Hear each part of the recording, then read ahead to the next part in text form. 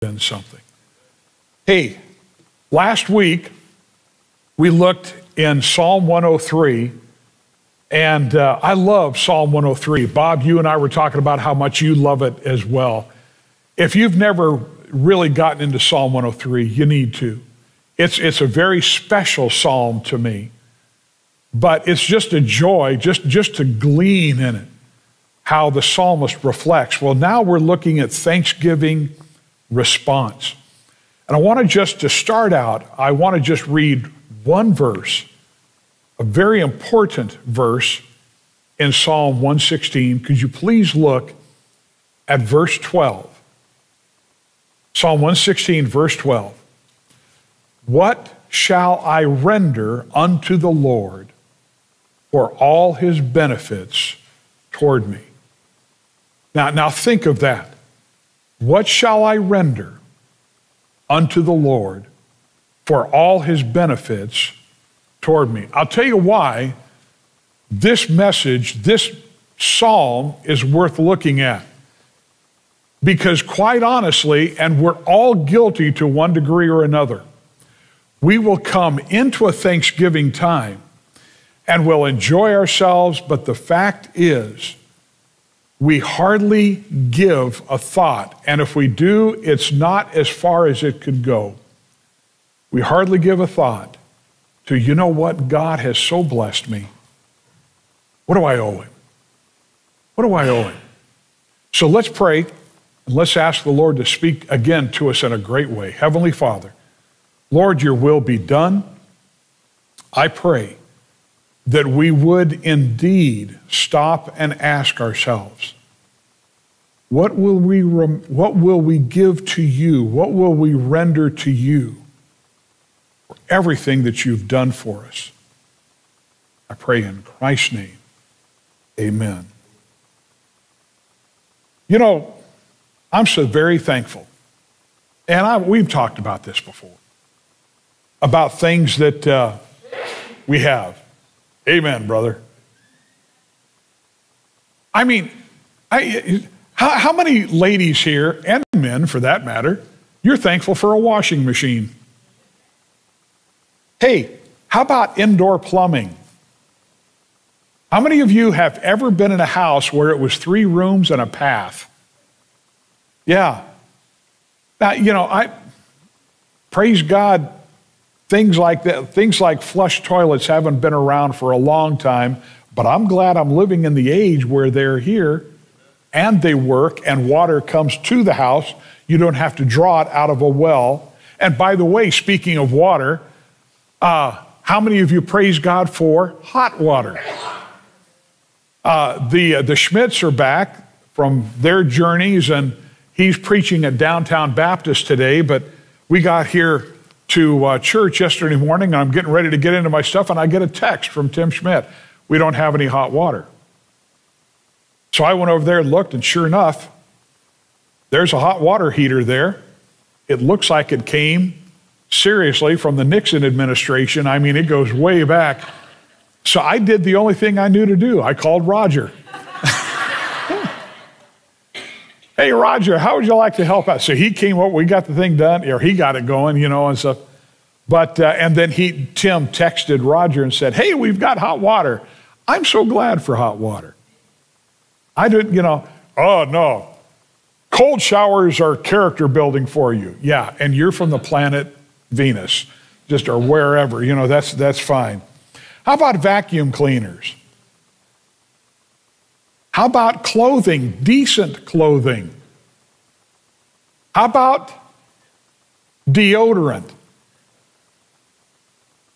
How many of you have somebody sitting next to you or near you that needs to believe in deodorant? Toothpaste, soap. That's great. That's good stuff. And I mean, you know, we could go on new car, used car, new truck, used truck, you know, just motorcycle, whatever. Cell phones. Can you can you imagine? We have gotten so stuck on cell phones. By the way, if yours is on, turn it off right now. Turn the, you know, turn the ringer off. How many of there's one thing, spam calls. somehow there's this guy out there, his name is Spam, and he's talking to all of us. But you know, we, we, there's so many things that we could talk about, and we do praise God for. But this is why, and especially a time like now, we need to stop and we need to recognize that what we live in now is changing and it's changing rapidly. And that's why God's people now, more and more, are using an interesting word that we haven't really had to think of seriously persecution. I was reading yesterday a synopsis of how we got to where we are in America with freedom, religious freedom. And you go back hundreds of years and you realize there are so many people out there who died because they did not have that freedom. Kings that could, at the snap of a finger, snuff you out.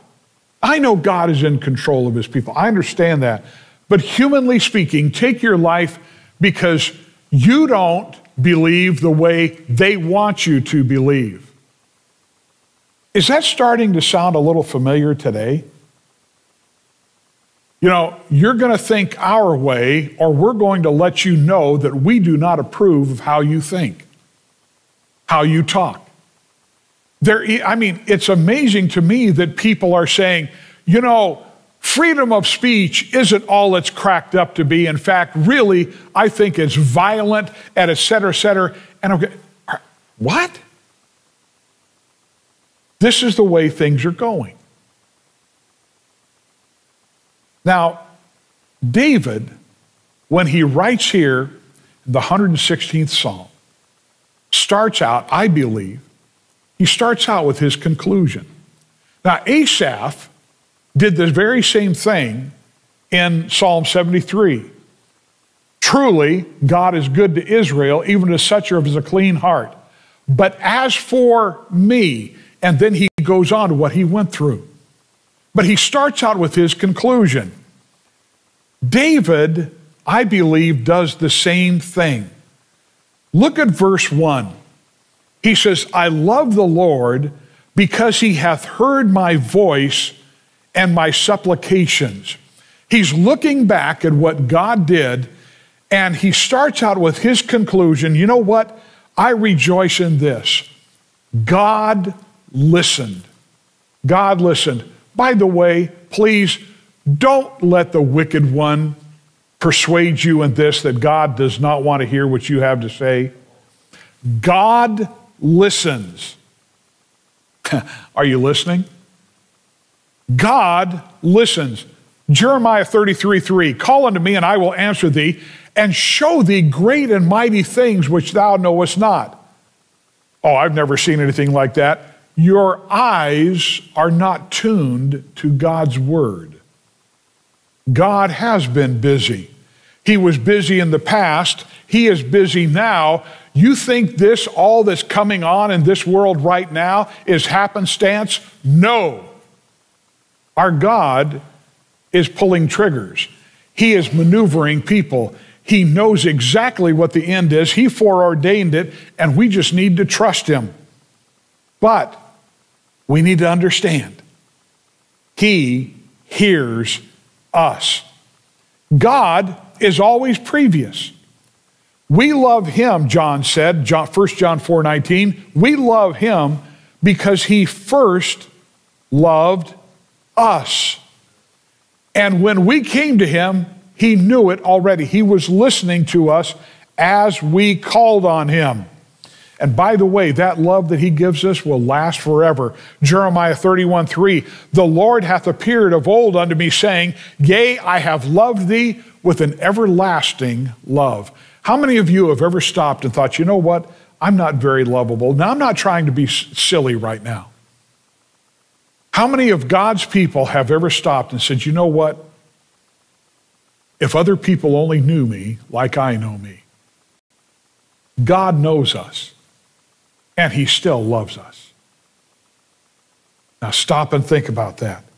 God listened, and because God listened, David responded. Look at verse 2. Because, he writes, because he hath inclined his ear unto me, therefore will I call upon him as long as I live. My God has shown me that he's listening to me. And for that reason, for that, because I understand it, it's there. He says, I'm going to call on him as long as I live. In other words, David started a habit. It was a great habit. Now, look, our pride, we got to be careful. Our pride can get us to this, where we get this idea in our flesh well, I can take care of this, I can handle this. First of all, no, you can't, because my Savior told me, and He tells you, without me, ye can do how much? We might look at something and we might think, hey, piece of cake, it's okay, you know, we can handle And the Lord comes along and says, no, no, listen, my thoughts are not your thoughts. My ways are not your ways. You might think you need to go this direction, but I'm telling you, I've got another direction I want you to go in this. David said, You know, because I recognize this. Now, by the way, down the road, did David sin? Yes. I understand that. But David had a walk with God, and the walk was there mainly or in many ways because he knew God listened. Now, again, this is one of those stop and meditate on it moments. Faith Baptist God listens. But so many believers suffer in the prayer closet. It's one of the reasons why the prayer meeting suffers. People will come to church on Sunday morning, but corporate prayer, they just don't think about. Listen, we're going to be having a prayer time at the beginning of the new year. We're going to be having a prayer time, and there is a reason for it because God hears. Are you glad that God hears? Then please, please, Faith Baptist, let's have that reflect in what we do. I've got the sign now, it's in my office. Lord willing, next week you'll see it over the door, the double doors right there. My house shall be called a house of prayer. That is what is needed. If there's anything that this church needs to excel at next year, it's prayer. It's prayer. Because God answers prayer. David knew it. David brought his conclusion because he hath inclined his ear unto me, therefore will I call upon him as long as I live. Well, what really brought that out? David's condition. Look at verse 3. Look at verse 3. The sorrows of death compassed me. Now, I don't know what was going on at this time, but the point is, this is where David was. And the pains of hell got hold upon me. I found sorrow, excuse me, trouble and sorrow. You know, there are people here in this auditorium that have found trouble and sorrow in their lives. In fact, it might be going on right now. Now, again, this is one of those times when we just, you know, we, we, we don't sit down in the auditorium and, and we just go, you know, play pretend. That's not it. We have people here that have had tough times and are having tough times. Now, I'm brushing it with a broad brush right now. We're not going to get specific. But the point is this there's not a person in here that doesn't need the prayer closet to help, for God's help, with something in the coming week. you know, when, when I get those kind of phone calls where, I mean, the, the foundation feels like it's getting ready to collapse, it's hard. It's hard. David was there. Do we realize how often God's people have had to endure? We learn from Job. Yet man is born unto trouble as the sparks fly upward. Boy, there's a, there's a, there's a campfire I don't like when those kind of sparks fly upward. He said in Job 14:1, man that is born of a woman is a few days and full of trouble. Same thing. Paul was no stranger to it. We just we, we just finished Second Corinthians. Hey, for when we were come into Macedonia, Paul wrote, our flesh had no rest, but we were troubled on every side. Without were fightings,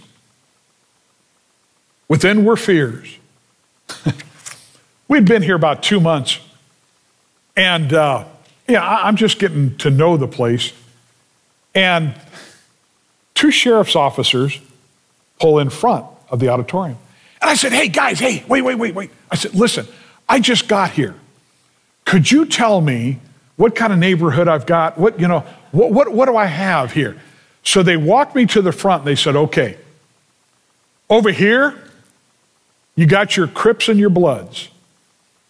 Over here, you got your neo Nazis and your skinheads. And I thought, this is great. One of these days, I'm going to come here and I'm going to have a rumble right in front of the church. It happened. It started on Watt Avenue and worked its way here. Some of you remember Mr. Buckler. I remember Mr. Buckler looking through the window there. I mean, it was a crowd right out in front there. Yeah, you know, without were fightings and within were fears. Lord, is it going to come this direction?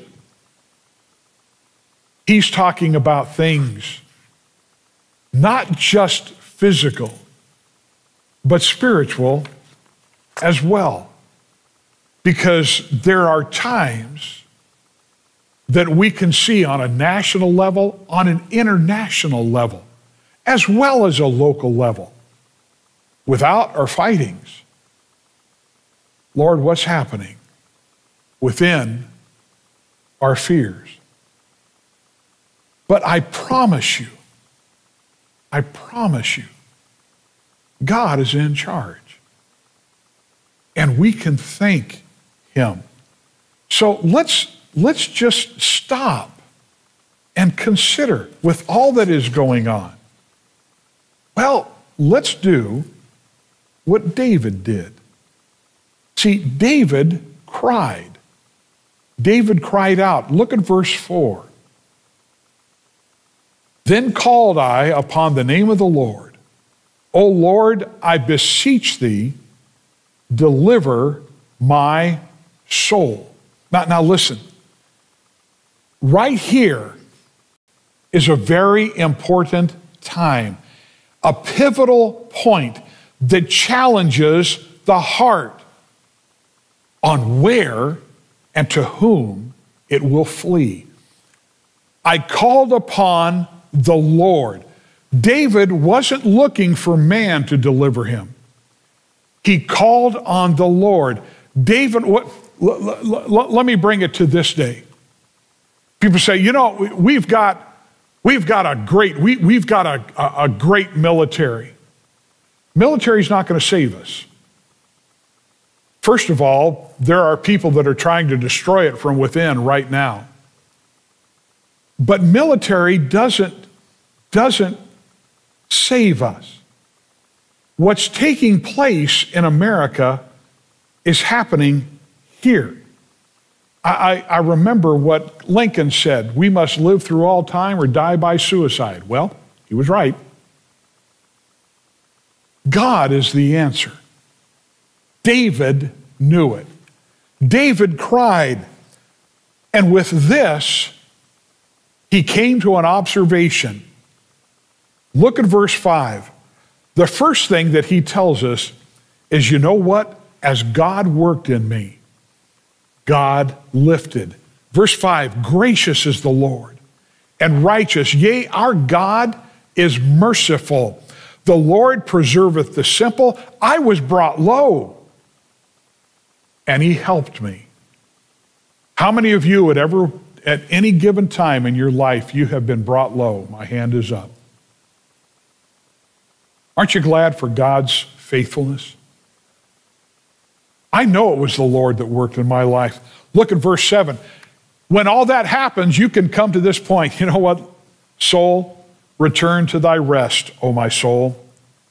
For the Lord hath dealt bountifully with thee. I can stand here right now and tell you God has been good. Now, are there still challenges? Absolutely. Are there still uncertainties from what I can see? Absolutely. Has God been merciful? Yes. Has He dealt bountifully with me? Absolutely.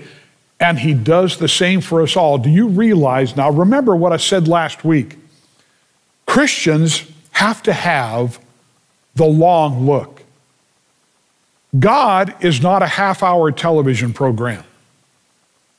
He doesn't bring everything to a conclusion with commercials in a half hour or an hour. No, He works in us. There is coming a time when we, those of us who have truly trusted Christ, we will be in heaven and looking back and going, Praise God for what He did. That's coming. Now, I want you to meditate on this. I want you to stop and think about this. This psalm is as much to us as it is to anybody else. David is giving us personal testimony. You can trust God.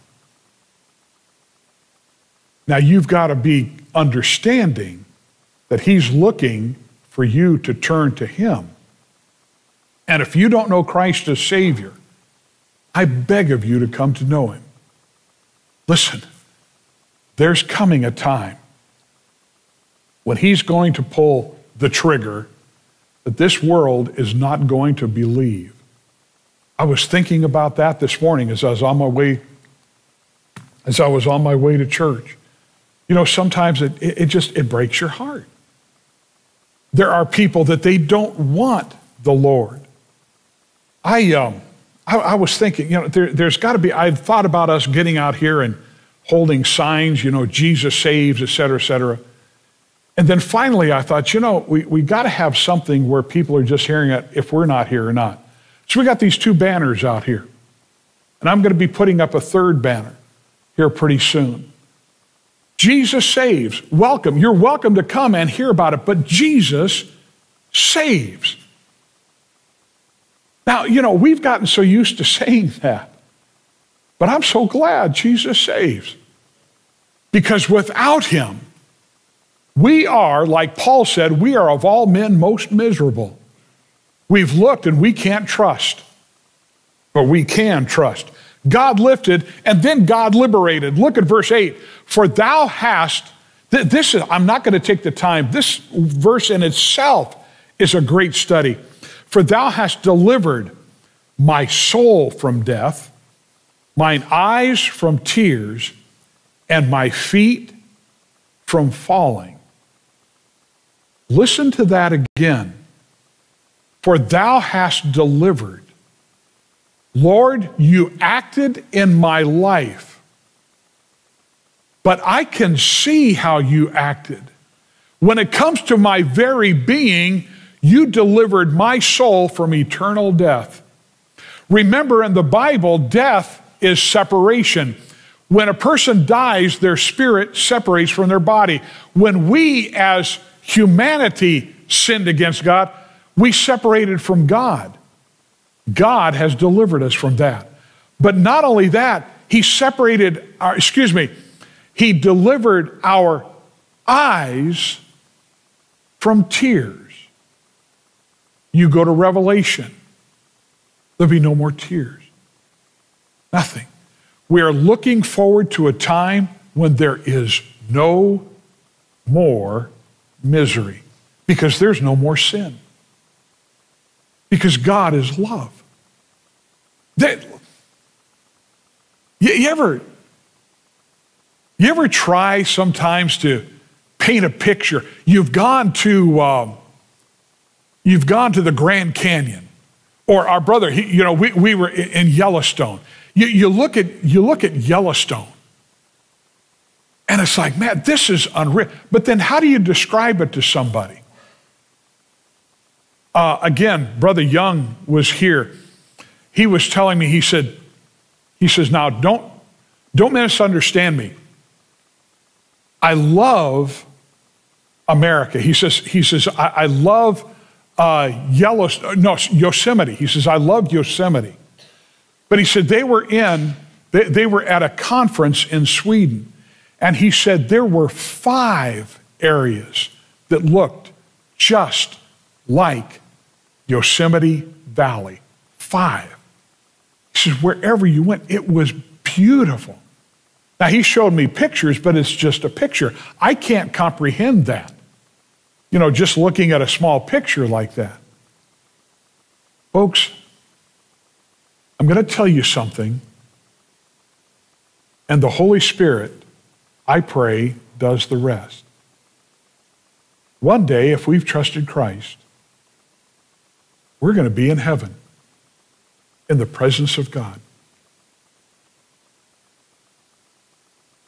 There is no more need. There is absolute love there. And we will be with him forever. Now, stop and think about this. Every soul that has ever lived is still living and will always live. There's never going to come a time when you cease to exist. The only difference is where you exist. And that is why we ought to be mindful of the gospel. Look again at verse 8. For thou hast delivered my soul from death, mine eyes from tears, and my feet from falling. Now, praise God for this. You know, we sin and we fall, but we don't fall ultimately, and the Lord can raise us up. He can bring us up. Listen to the joyful heart of the man who is liberated. I will walk before the Lord, verse 9, in the land of the living. I believed, therefore have I spoken. I was greatly afflicted. Now, this is kind of interesting here in what Paul does, Paul, what David does here. We don't know, again, what was going on. He says, I was greatly afflicted. And then verse 11, I said in my haste, all men are liars. Now, we know this people fail us. And there have been times we have failed people. There was something that happened with David where it got so bad that all of a sudden he just blurted out, he just, you know what, all men are liars.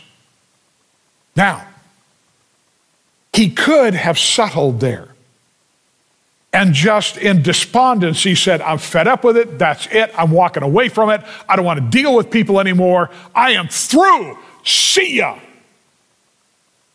But he didn't. Look what he did. Instead, he purposed to cast his eyes upward. David's reaction was this and this is what brought him to verse 12. What shall I render unto the Lord? He's looking to his God. What shall I render unto the Lord for all his benefits toward me? Now, please, let's, let's stop and think about this. Don't let this just go by.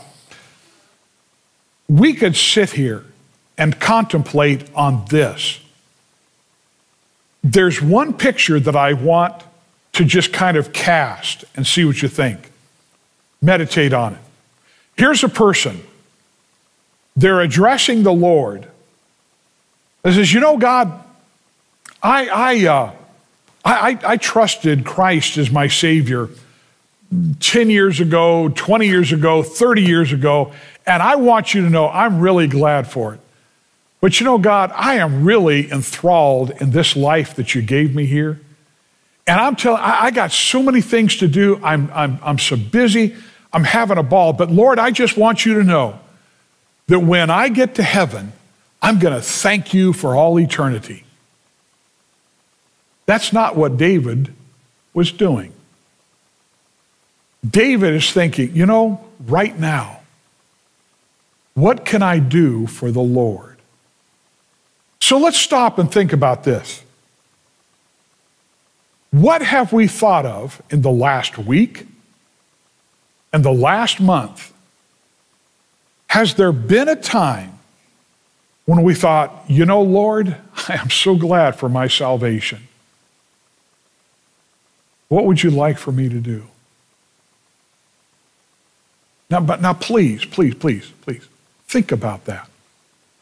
This is why this, this has been such a blessing to study. This is David's response continued. What shall I do? Right now. Remember what Jesus said? If you love me, keep my what?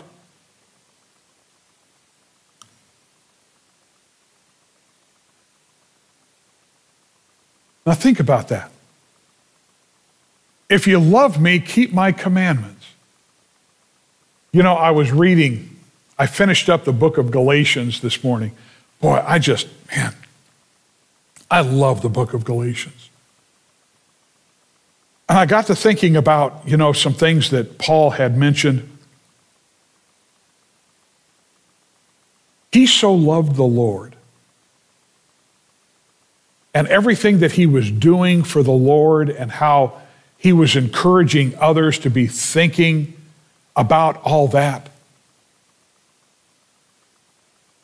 You know, he made mention about presenting the people that he served perfect in Christ. And you know, that, that's really, you know, that's what a pastor thinks about. I'm thinking about the time, let me just pick on Brother Reyes. I'm thinking about the time that Brother Reyes is going to stand before the Lord. You know, he and I can kid back and forth, but the real thing is when it comes to our relationship, I want to see, I, I want to be an encouragement to Brother Reyes in his Christian walk. I want to see him grow. It's not me, it's the Lord, but I want to be used of God to do just that. Not for my glory, but for His, because again, without me, ye can do how much? Nothing. And it's, and it's the same thing with every one of you. This is why we're in the Word of God. There's not a Quran here, and that's for a good reason. This is the inspired, infallible Word of God. Our God has directed, and it's this that brings us to completion. And so I want to see Brother Mike Hale. Same thing, his son, Brian, on and on and on. All of us. And by the way, we ought to see each other like that. Amen? Now, some of you I look at and I go, you know, can it really happen? Of course it can. I'm just, I, now I'm getting stupid. Somebody give me my medicine and I'll finish and there will be great. Look at what David's response is, and we'll be done with this. Number one, I will pray. I will pray. I will take the cup of salvation and call upon the name of the Lord. Our Lord wants us to pray. Hey, Luke 11, Ask and it shall be given unto you. Seek and ye shall find. Knock and it shall be opened unto you. He says, I will pray. I will take the cup of salvation, what God has given me, and call upon the name of the Lord. I will pray. Secondly, I will pay. Look at verse 14. I will pay my vows unto the Lord now in the presence of all his people. Now, you might think, well, wait a minute, I didn't make any vows. Yes, you did. Is he Lord of your life? If he's Lord, you owe him. If he's not Lord, you've got a major problem. you've got a major, major problem. I will pay. Verse 15. Now, this is kind of interesting. Precious in the sight of the Lord is the death of his saints. Now, I got to really studying this and I looked up several people, and most of them say the same thing that what, what David is saying here, and with our translation, it doesn't come through, not quite, it, it means to make rare. Rare in the sight of the Lord is the death of his saints. In other words, it's something that God is not, he's not oblivious to. When he calls a saint home, he has reason for it. But before he does that, he's going to protect because of our service. I find that wonderful. That is, good men are so precious in God's esteem, as this Dr. Wells put, that he will not prematurely deliver them up to the power of death. I will pray, I will pay, and then I will perform. Look at verse 16. O Lord, truly, I am thy servant. I am thy servant and the son of thy handmaid. Thou hast loosed my bonds. Lord, you set me free. Because of that, I am volunteering. I am coming to you, and I desire to be your slave. You set me free from sin. You set me free from death and hell. You set me free from all that. Lord, for that reason, I am absolutely yours. And then lastly, I will praise. I will offer to thee the thanks, the sacrifice of thanksgiving, and will call upon the name of the Lord. I will pay my vows unto the Lord now in the presence of all his people, the courts of the Lord's house in the midst of thee, O Jerusalem. Praise ye the Lord. He says, Join me. Praise the Lord. I'm giving you, Lord, the sacrifice of thanksgiving. That is what I owe you. What a joy. What a joy. You know, we look in our hymn books, and there's stories all through that behind those songs. I often wonder, or often think that, you know, I, I wish we would have a hymn book that absolutely, actually has the story behind a particular hymn. There's one in our hymn book called My Redeemer. The story is not behind it in the hymn book, but it is an interesting one. There's a man by the name of Philip Bliss. Some people call him just P.P. Bliss. He wrote a song, he wrote this song, but it was found after he was dead. It was found literally in a train wreck. He had a testimony. There's a man by the name of George Stebbins who talked about Bliss one time, and he said, There has been no writer of verse since his time who has shown such a grasp of the fundamental truths of the gospel, or such a gift of putting them into poetic and singular, sing, singable, excuse me, form. But at age 38, Bliss's life was ended in a train accident. He'd been visiting his mother in Rome, Pennsylvania during the Christmas season of 1876. He was returning by train to Chicago on December 29th with his wife, Lucy, when there was a railroad bridge that collapsed. The train plunged 60 feet below, but that's not the worst thing. It caught fire. He was able to escape, but his wife did not. He went back into the train and died with her in the flames. As they took everything through, they sifted through all that they were finding in the train. There were witnesses that knew that he made it out and went back in. They never found their bodies. Never did. I don't know why. But they found his luggage. And a, among those things there was this song I will sing of my Redeemer and his wondrous love to me. On the cruel cross, he suffered from the curse to set me free. I will tell the wondrous story how my lost estate to save, in his boundless love and mercy, he the ransom freely gave. I will praise my dear Redeemer, his triumphant power. I'll tell how the victory he giveth over sin and death and hell. I will sing of my Redeemer and his heavenly love to me.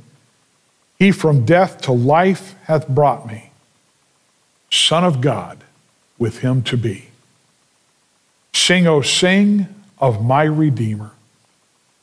With his blood he purchased me. On the cross he sealed my pardon, paid the debt, made me free. There it is. You know, folks, this, this preacher can't paint the picture like it really is. But I tell you what, I can encourage you to do this, us all to do this. We take the time and we stop. Maybe even before the day is over, and we consider what God has done through Christ. We're going to be in the second, in the middle part of Colossians chapter 1 tonight. It's stunning how Paul uplifts Christ. I mean, I called it Paul's love letter to the book of to the people of Colossae last week or 2 weeks ago. But it was it's it's amazing how he lifts Christ up. And it's really more of a love letter about Jesus. That's that song right there. I will sing of my Redeemer. I, I, I, I fail at painting the picture as it ought to be, but I'm telling you now, we have a Jesus that is worth being thankful for. We have a salvation that is simple, yet forever, forever powerful because your sin and mine are forgiven. They're gone as east as far as the east is from the west. What a thing to be thankful for.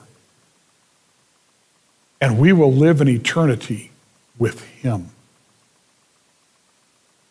Praise be to God for his unspeakable gift.